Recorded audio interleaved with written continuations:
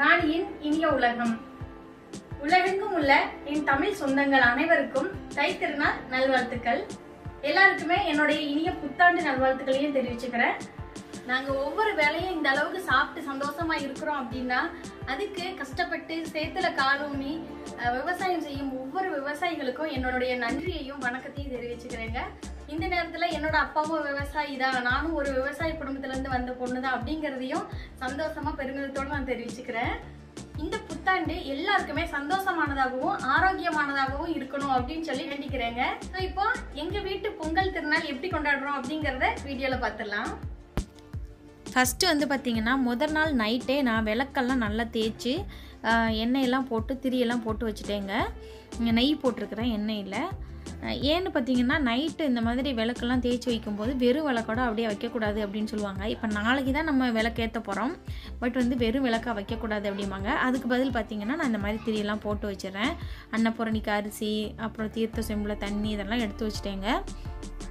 இந்த வேலை முடிஞ்சிட்டாலே நமக்கு காலையில் சாமிக்கு பூ போட்டு விளக்கேற்றிடலாம் ஈஸியாக இந்த வேலையெல்லாம் முடிச்சு வச்சுட்டேன். அப்புறம் வந்து பார்த்திங்கன்னா பொங்கலுக்கு தேவையானதெல்லாம் நான் ரெடியாக எடுத்து வைக்க போகிறேங்க ஸோ வந்து பொங்கலுக்கு பொங்கல் பண்ணுற புது பாத்திரத்தை கழுவி எடுத்துகிட்டு வந்திருக்கிறேன். கேஷ்யூ நட்டு இது எல்லாமே வாங்கி வச்சுருந்தேன். ஏலக்காய் அப்புறம் வெல்லம் இது எல்லாமே வாங்கி வச்சுருந்தேன். ஸோ அதெல்லாம் நம்ம எடுத்து வைக்க வேண்டிய இடத்துல எடுத்து வச்சிட்டோம்னு வச்சுக்கோங்களேன் காலையில் டக்குன்னு செஞ்சுட்டு கிளம்புறதுக்கு கரெக்டாக இருக்கும். ஏன்னா எங்களுக்கு சிக்ஸ் தேர்ட்டிக்கெல்லாம் வந்து ஆஃபீஸை டிரான்ஸ்போர்ட் வந்துடும் ஸோ அதுக்கு முன்னாடி நான் பொங்கல்லாம் வச்சு சாமி கும்பிட்டுட்டு நாங்கள் ஆஃபீஸ்க்கும் கிளம்பணும். ஸோ அதனால தாங்க நான் நைட்டு எல்லாம் ப்ரிப்பரேஷன்லாம் பண்ணி வைக்கிறேன். ஏலக்காய் நுணுக்கி வைக்கிறது வெள்ளத்தெல்லாம் நல்லா நுணுக்கி எடுத்து வைக்கிறது அப்புறம் பொங்கலுக்கு தேவையான கேஷ்யூ நட்டெல்லாம் நான் வந்து பொடி பொடியாக உடச்சி தாங்க போடுவேன். ஸோ அதெல்லாம் உடச்சி எடுத்து வைக்கிறது. இந்த மாதிரி ரைஸ்லாம் வந்து அளந்து எடுத்து வைக்கிறது. இது எல்லாத்தையுமே நான் நைட்டு முடிச்சு வச்சுட்டேங்க. இந்த பாத்திரத்துக்கும் சந்தனம் பொட்டெல்லாம் வச்சு வச்சிட போகிறேங்க அப்போ ஸோ காலையில் இருந்தது நம்ம அப்படியேமோ பொங்கல் வைக்க ஸ்டார்ட் பண்ணிடலாம் அப்படிங்கிற மாதிரி இருக்கும்.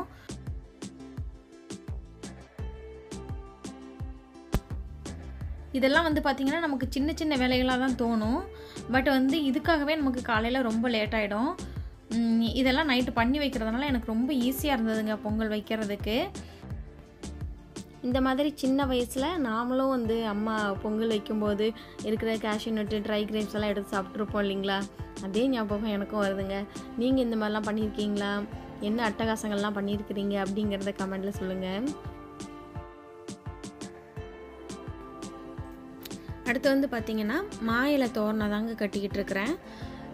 மாயில வந்து இங்கே மாமரங்கள்லாம் இருக்காதுங்க. கடையில் தான் வாங்கிக்கணும். ஒரு பாக்கெட் வந்து ஐம்பது ரூபா அறுபது ரூபா அந்த ரேஞ்ச் வரும்.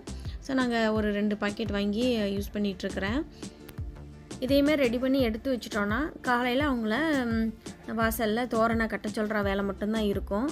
ஸோ ஆஃபீஸ் போயிட்டு வந்து தாங்க க்ளீனிங் ஒர்க்கு எல்லாமே முடிச்சு வச்சுருக்குறோம்.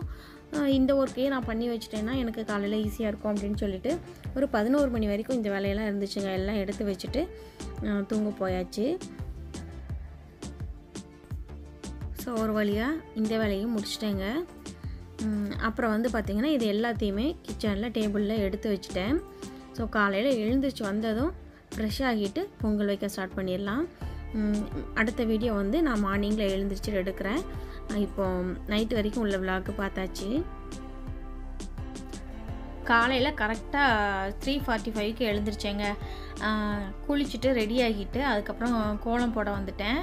கோலம் நான் ரொம்ப பெருசாகவும் போடல. அதே சமயம் பொறுமையாகவும் போடலைங்க. ஏன்னா சிக்ஸ் சிக்ஸ் தேர்ட்டிக்கு எனக்கு கரெக்டாக ஷார்ப்பாக வண்டி வந்துடும் அதுக்கு முன்னாடி நான் பொங்கலும் வைக்கணும் பசங்களுக்கு சாப்பாடும் ரெடி பண்ணி கட்டணும் பொங்கலும் பேக் பண்ணி கொடுக்கணும். நானும் வந்து இந்த காஸ்டியூமில் ஆஃபீஸ் போக முடியாது. ஆஃபீஸ்க்கு போகிற மாதிரி ரெடி ஆகணும். ஸோ இந்த எல்லா வேலையுமே நான் பூஜை பண்ணணும் பொங்கல் வச்சு முடிக்கணும். ஸோ அதனால் நான் பொறுமையெல்லாம் போடலைங்க. சின்னதாக ஒரு கோலம். அது எவ்வளோ அழகாக வருது அப்படின்லாம் நான் பார்க்கல. எப்படி கைக்கு வந்ததோ அப்படி போட்டேன். கரெக்டாக ஒரு டூ த்ரீ மினிட்ஸில் போட்டு முடித்தேன் கோலம். இந்தியாவில் இருக்கும்போது வந்து பார்த்திங்கன்னா பெரிய குளமாக நைட்டெல்லாம் முழிச்சிருந்து போடுவோம். எங்கள் தெருவிலே எல்லோரும் அப்படி போடுவோம். அதுக்கு கலர் கொடுத்து இந்த மாதிரிலாம் பண்ணும்போது பார்த்திங்கன்னா விடிஞ்சிரும். அப்படியே குளிச்சுட்டு பொங்கல் வைக்கிறதுக்கு கரெக்டாக இருக்கும். அந்த மாதிரி பண்ணுவோம். ப்ரிண்ட் போட்ட மாதிரியே நான் கோலம் போடுவேங்க. அவ்வளோ அழகாக பட்டு இப்போ என்னால் உட்காந்து போடவும் முடியல. கால் வலிக்குது. அதே சமயம் கலர் பொடியும் நாங்கள் போய் வாங்கலை கிடைக்கல. பெரிய குழம்பு போடுறதுக்கு இடமும் இல்லை. ஸோ சின்னதாக ஒரு ட்ரெடிஷ்னலாக போடணும் அப்படின்னு சொல்லிட்டு சும்மா ஒரு பொங்கல் பானையும் சு- ரெண்டு கரும்பு அங்கிட்டும் இங்கிட்டும் இருக்கிற மாதிரி ஒரு சின்ன குளம் போட்டீங்க.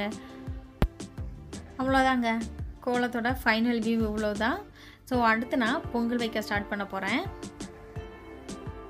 அடுப்பு நான் முத நாள் நைட்டே எல்லாம் தொடச்சி க்ளீன் பண்ணிலாம் வச்சாச்சுங்க. ஸோ சந்தனம் போட்டு மட்டும் நான் நைட்டு வைக்காமல் இருந்தேன்.